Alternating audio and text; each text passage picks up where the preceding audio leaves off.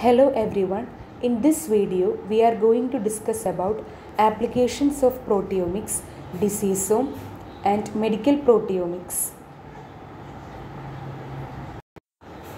Proteomics is used extensively to understand human diseases.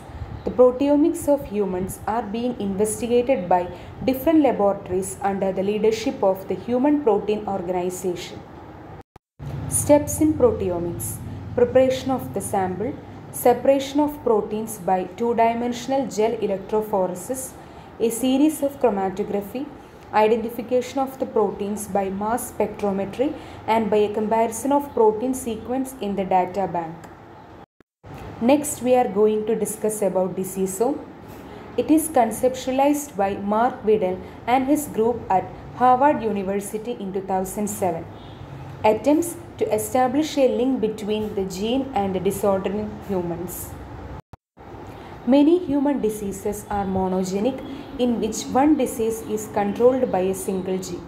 However, in some instances, mutations at different sites within the same gene produce a disease with different phenotypes. Example, mutations in TP53 have been known to produce cancer with 11 different phenotypes. In contrast, Zellweger syndrome can result from a mutation in any of 11 different genes. Vidal and his group shown that in 867 examples, one gene is connected to one disease, that is metabolic disease. In 516 cases, a particular disease was controlled by more than one gene. This can be seen in complex diseases such as cancer, neurological disorders. This is Marc Vidal. Next, we are going to discuss about medical proteomics. It is an attempt to describe human proteins as proteins are valuable to medicine as drugs or as target to study drugs and their side effects. Liver proteome is being studied in China. Brain, brain proteome is investigated in Germany. Different laboratories are investigating different proteomes. Medical proteomics is again divided into body fluid proteome, liver proteome, brain proteome, heart proteome, cancer proteome, organelle proteome, and proteome of human parasites. Body fluid proteome. This is an important one because it flows through the body and comes in contact with several tissues of different organs in the body. Many fluids have been studied in detail, including blood, urine, tears, amniotic fluid, etc. Major challenge in the proteomics of body fluids is the large variation in the amount of a particular protein in different individuals.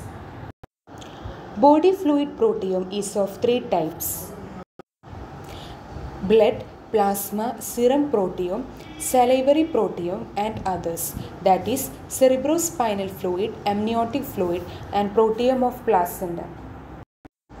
First, we can see blood, plasma, serum proteome.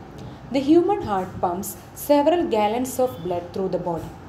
Thus, blood has the opportunity to pick up many proteins from the various parts of the human body that may provide a biomarker for a specific disease. Blood is complex in its constitution. It contains blood cells and cellular particles. Once the blood is centrifuged in the presence of heparin, that is anticoagulant, cells and cellular particles sediment at the bottom and the clear liquid left as supernatant, that is plasma. In the absence of an anticoagulant, proteins clot in the plasma which can be removed by centrifugation and leaves a clear liquid containing soluble proteins. This is serum.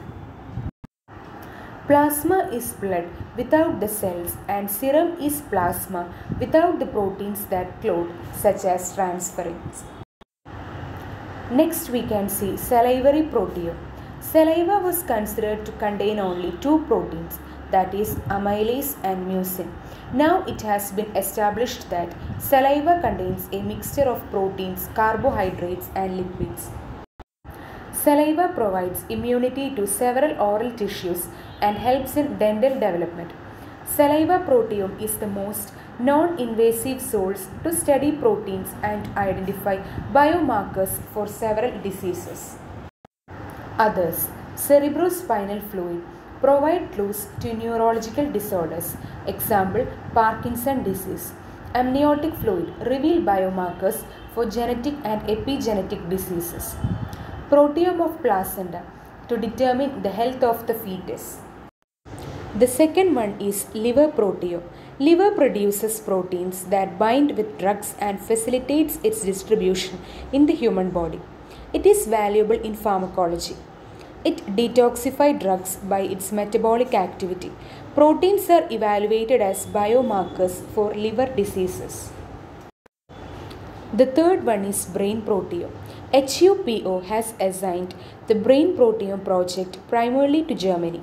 Objective of this project is to decipher all the proteins in the brain and to identify the proteins involved in different neurodegenerative diseases. Example Parkinson disease. However, currently not much progress has been made. Fourth one is heart cardiovascular protein to identify the indicators of heart diseases and to design drugs for their treatment. A 2D gel analysis of the heart proteome has provided a protein map of the left ventricle of the human heart. This protein map identifies more than 110 unique proteins in the proteome of the left ventricle. More than 200 proteins have been identified from the human myocardium. In addition, proteins of the sarcoplasmic reticulum have been identified. Fifth one is cancer proteome.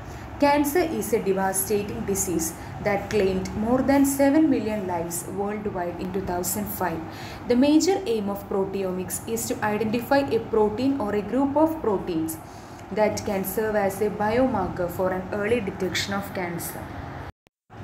The level of PSA is used to routinely monitor the possible development of prostate cancer diagnosis and management.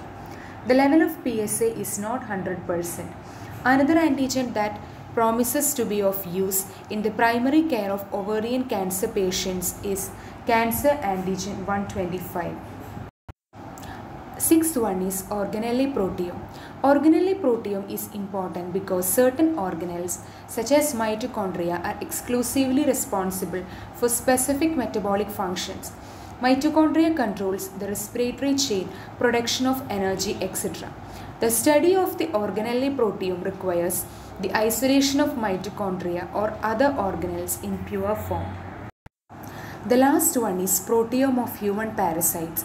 In addition to infection by viruses, bacteria and fungi, humans are infected by amoeba, protozoa and worms. Plasmodium falciparum causes malaria in humans. A cure through the development of drugs and vaccines has been unsuccessful because of the peculiar etiology and evasive immune system of the parasite. Thus, the proteome analysis of liver stage parasite has been undertaken in the plasmodium of mice. This is all about applications of proteomics in medical field. Thank you everyone.